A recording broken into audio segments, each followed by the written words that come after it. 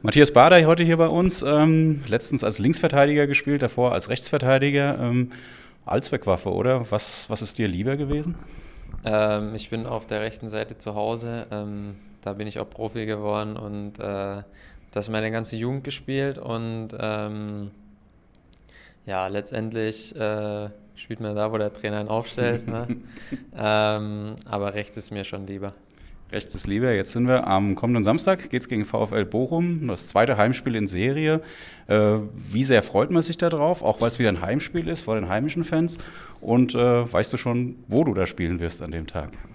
Ich habe noch keine Ahnung, wo ich da spielen werde. Ähm, natürlich freue ich mich auf Heimspiele ganz besonders, weil ich finde, dass die Fans hier sehr, sehr dankbar und sehr ähm, positiv sind. Ähm, das habe ich so in Köln nicht so mitbekommen. Aber ja, ich freue mich auf jeden Fall drauf. Mhm. Ähm, du bist ja gut angekommen, bist im Winter gekommen, hast einen längeren Vertrag hier unterschrieben.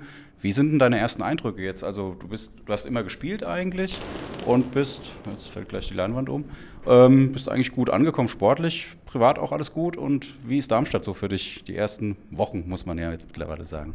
Ähm, in Darmstadt äh, bin ich gar nicht so viel unterwegs. Ich habe mir ein Haus auf dem, auf dem Dorf gesucht, damit ich dort in Ruhe mit meinem Hund und mit meiner Freundin äh, schön viel draußen sein kann und äh, das Leben genießen kann.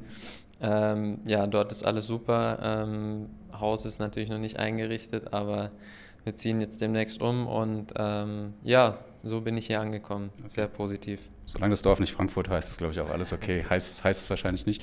Noch abschließend ein Tipp fürs Wochenende. Bochum, wie gesagt, Heimspiel wieder. Ihr habt jetzt die letzten vier Spiele gewonnen. Die Serie könnte weitergehen, so wahrscheinlich. Das hoffen wir natürlich. Alles klar. Tausend Dank. Alles Gute. Danke.